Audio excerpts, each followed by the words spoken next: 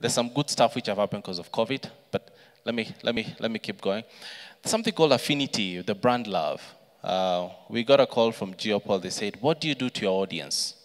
Right? And we said, why? They said, your affinity level is way too high. When people tune in, they stick in there for a very long time. But it's because we are, honestly, we are bold, we are cool, we are different, we like to tell our story. Whether you said it well, be yourself, be authentic, tell your story. And that's what we do. We're not ashamed. If you look, the first bar here, this was a research done by TIFA. TIFA have, um, they do research using your phone. You, they put an app, then it picks what you're, what you're listening to. And last year, to be very sincere, they presented this, and the entire room went crazy. They're like, no, these guys are new. How can they be number one? And at the same time, there's a station here with the 5.5, 1FM. We just acquired their frequency, so we were there as well. So if you add 5.5 plus the 10.1, it tells you where we are.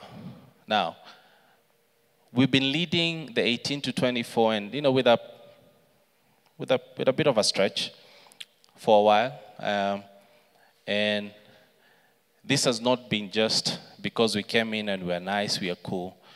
But we came in with a disruptive idea that we've been able to sell to the market, and the market has accepted. We don't just sell airtime, right? We sell at 360.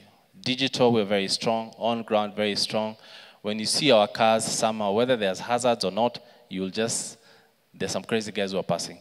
And our audience, they love that. The young guys really want to feel the cool factor. When we're on air, we have only one professional presenter. When I say professional, meaning she went to school, studied being a presenter. All our other presenters are content creators. Thanks to Mr. Bellwood Njoroge, who trains them every day. All right? And apparently, our audience really enjoys listening to them a lot more. We've, we've tried some professional guys who will come and, you know, take over the airwaves, but the audience just wants our content creators. They have done very well. So, COVID is here. It's been crazy.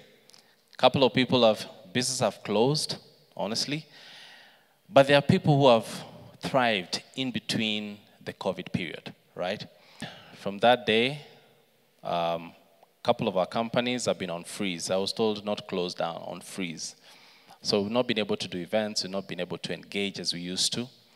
But we've used the other side of the business that had something that we can actually at hand, something we can use to continue engaging.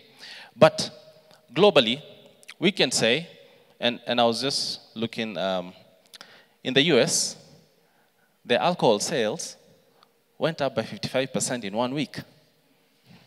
All right? Europe as well, it went up like crazy. I mean, their online shopping and all that is huge. Zoom, we used to do Zoom meetings with the ABL all the time, but it was nothing. It was, okay, which one? Zoom, okay, fine, we'll jump in. Now, last year, NRG doubled her numbers as a station, right? And right now, we're the number four radio station in Nairobi. It is something that I was warned before I got into media. I was told, you'll make money after three years, you will stick down there, but we knew with a disruptive innovation idea, thinking about radio that in a different manner will be able to take us forward. We all know small businesses have been making sanitizer. Some of you maybe you've made sanitizer the back of your, you know, uh, home, selling masks. What else have you guys done? I mean, just just be honest. Packed food, trying a new idea over 80% of the small SMEs have tried something different, which is good, all right? But um, there's some gurus here who have disrupted our minds again, globally, because they had also a different idea from before, it's just been amplified. So, what's the difference between these guys and these other guys that really suffered? It's, there's a level of mindset, all right? And it's all about innovation. So today, if, if I miss a few words, there's a word innovation must be. It's what you take home, all right? And innovation is all about its assumption versus the first principle of thinking. I want us to do a small exercise in, in 10, 20 seconds, just with your eyes only. Can you show me from that maze how you think you can get out there? And I'll just ask one person who thinks they know. I mean, just whoever thinks knows how to get there the, the fastest possible. Anyway, show me. Right. Okay. Okay. Okay. All right. Okay. Okay. All right. Right. Perfect. that's the map. That's, that's how the guy went. Right? It's fantastic. That's, that's how this thing is made to be. It's always, we all know when, when you're told start to finish. But could there be a different way? Okay.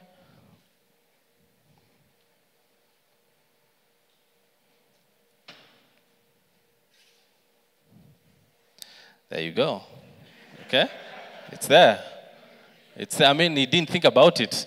He just knows this is the start, that's the finish. Could there be another one? Okay, I know there's another one. There's another one. Yes, I know. Could there be another one? Okay. I think there's another one. And this is where we call the disruptive innovation. It doesn't matter the rules, all right? You just go straight. It's the easiest, shortest. Woof, you're there. All right? You may say, no, the rules say, you say it, get to the start to the end. All right? And most of us in our business, we are stuck because we know you have to do like this. You have to go to the bank, apply for the loan, wait for an approval, negotiate. Yet, there's someone seated here with the funding, willing to extend the money, but simply because you don't give some shares, you want to go through the normal long route. Now, if you look at um, globally, one of the guys, my heroes, is um, Elon Musk, Tesla. Today, if you have a product that you know you can push in the market, okay, good quality, accessible to your audience, and affordable to your audience, I guarantee you success. But most of us get in the market with the wrong step. We're getting in the market to say, I have a good idea, I'm going to make money. It's not about making money, it's about solving a problem, being able to reach your audience, being able to solve a problem. Now, for us as business leaders, we must be able to have that culture of wondering. And this culture of wondering is we need to find what next. We should not be relaxed simply because now we've, we've gotten the expansion plan to where we want it to be. We have to find the what's next. And people honestly invest in what's next, right? And that has to be our lives as business people. We must be willing to experiment, to try new things. You know what that comes with? Comes with some losses, some gains. So we must be open for that. There is a lot of risk related to every entrepreneur. I tell people, being an entrepreneur, there's some days you feel like you're chewing glass. Now, chewing glass, you know when you chew glass, it's going to cut you, it's going to be hard going down, it's going to be hard coming out. But we still do it anyway, right? There are those days you wake up and you do not want anything to do with the business. You want to take off. And maybe I'm alone, but I believe the few friends that I have, and even myself, there are those days that you wake up. But there has to be something that pushes you forward. And I believe without a doubt, if you put a mindset of always having a disruptive way of doing things, you'll always be encouraged to wake up and move to the next thing. So, how do you differentiate yourself? Number one, capture value. And I'll give you an example. When COVID hit, we sat down quickly and we said, we have media here. We have 14, 14 minutes every day playing music uh, with an audience that love what we do. What do we do? We blasted an email to all our clients and we said, listen, we'll give you free media, okay, for two weeks. Give us a script and we'll, we'll hook you up. We were overwhelmed, all right? We got so much request we took as much as we could, right? But what was very critical is we went out to visit a couple of people who, who in need, and those same clients gave us a lot of product to go out. We didn't have to spend more money. And, and sometimes there's what you have, but you feel is not sufficient. But you have to think about it differently. You don't have to hold on to it consistently. Create new products. As a business leader and proposition that you're taking, try your level best to be number one, two, three. If it goes past four, disrupt that idea, tweak it, give it an, a different niche. If you're too far off, even when you're doing your valuation for your business becomes a bit harder. But when you're in the top three, top three, okay. Beyond there, becomes a bit crazy.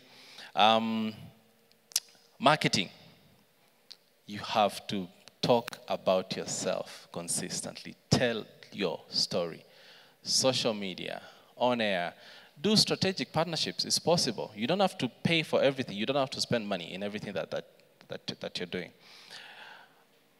Make sure you have innovative ideas.